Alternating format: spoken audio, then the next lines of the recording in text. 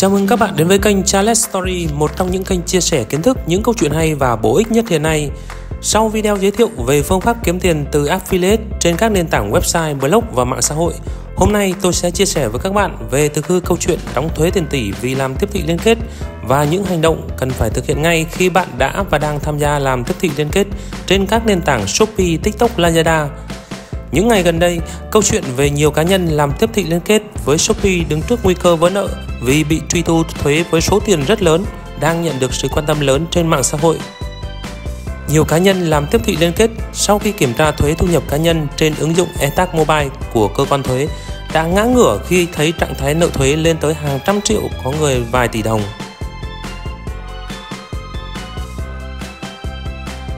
Được sàn thương mại điện tử trả cho hơn 6 tỷ đồng cho công việc tiếp thị liên kết. Anh A tại Hà Nội phát hiện mình còn phải đóng khoản thuế thu nhập cá nhân hơn 1,5 tỷ đồng.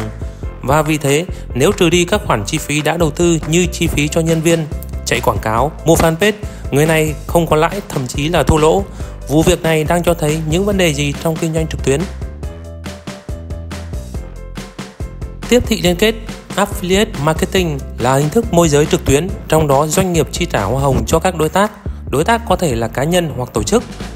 Khi họ giới thiệu khách hàng mua hàng thông qua các liên kết trên nền tảng internet, hiện các sàn thương mại điện tử sử dụng kênh này như một đối tác trong kinh doanh và thanh toán tiền hoa hồng. Gần đây, theo phản ánh của nhiều người làm tiếp thị liên kết với công ty trách nhiệm hữu hạn Shopee, họ đang bị truy thu thuế áp mức thuế lý tuyến cao nhất lên đến 35% đối với tổng số hoa hồng nhận được, thay vì mức thuế tạm tính 10% một số đang phải chịu truy thu thuế với số tiền thuế phải trả có thể lên tới hàng tỷ đồng. Người làm affiliate cho rằng Shopee phải gánh một phần trách nhiệm về khoản truy thu thuế lớn do kê khai đối tác là người lao động được trả lương, không đúng với bản chất của việc hợp tác kinh doanh và đối tác tiếp thị liên kết với sàn.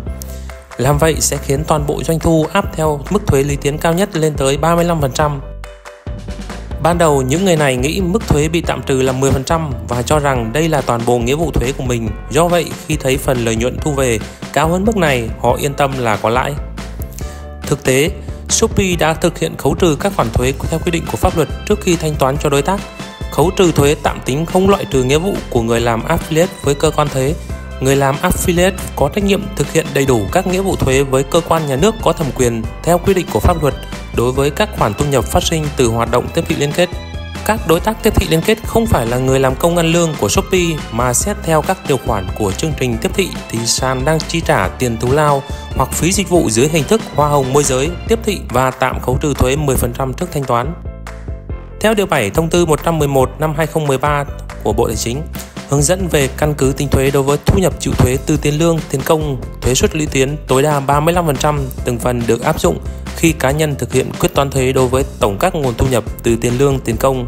trong đó bao gồm các khoản tiền thù lao nhận được dưới hình thức tiền hoa hồng,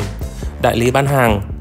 tiền hoa hồng môi giới, tiền dịch vụ quảng cáo, tiền dịch vụ khác, thù lao khác từ tất cả các nguồn chi trả thu nhập trong năm. Tiền hoa hồng cũng thuộc khoản thu nhập phải chịu thuế được quy định ở thông tư 111 năm 2013 của Bộ Tài chính.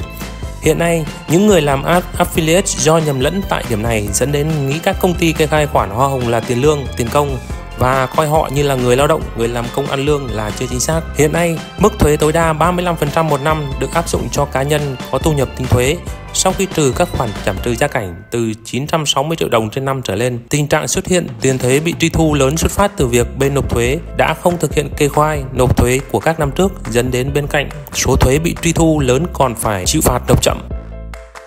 Vậy những người làm affiliate cần phải làm gì để không bị đánh thuế đến 35%? Theo thông tư 40 năm 2021 của Bộ Tài chính ban hành ngày 1 tháng 6 năm 2021 và các nghị định luật thuế đã nêu trong văn bản này, cá nhân kinh doanh, hộ kinh doanh là các đối tượng nộp thuế giá trị gia tăng và thuế thu nhập doanh nghiệp với tổng mức thuế suất trong khoảng từ 0,5% đến 10 phần 10% tính trên tỷ lệ doanh thu tùy thuộc vào hình thức kinh doanh, cung cấp hàng hóa và dịch vụ. Vì vậy, các cá nhân làm affiliate cho các sàn thương mại điện tử cần phải đăng ký là cá nhân kinh, kinh doanh, hộ kinh doanh hoặc công ty cung ứng dịch vụ thực hiện đăng ký mã số thuế cho ngành nghề thực hiện,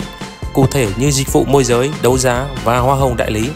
dịch vụ quảng cáo trên sản phẩm, dịch vụ nội dung số, sau đó phải xuất hóa đơn dịch vụ tương ứng cho bên sàn thương mại điện tử, thực hiện quy trình đối soát để có thể nhận được phí hoa hồng tiếp thị liên kết và thực hiện việc kê khai nộp thuế khoán, nộp thuế từng lần phát sinh và khai thuế theo định kỳ hàng năm với cơ quan thuế quản lý tại địa phương. Khi đăng ký ở hình thức hộ kinh doanh, doanh nghiệp thì sẽ được khấu trừ các chi phí hợp lý theo quy định, còn cá nhân kinh doanh thì được tính giảm trừ gia cảnh. Video hôm nay rủi ro lớn vì làm tiếp thị liên kết affiliate mà tôi chia sẻ đến các bạn. Nếu bạn đang làm affiliate hiệu quả thì hãy nhanh chóng đăng ký thành lập pháp nhân hộ kinh doanh hoặc doanh nghiệp để kê khai thuế với mã số thuế của mình nhé. Các bạn thấy video hay và nội dung ý nghĩa thì hãy like và đăng ký kênh của mình để mình có thêm động lực làm các video chia sẻ kiến thức hay như thế này nữa nhé. Cảm ơn các bạn đã đón xem. Xin chào và hẹn gặp lại.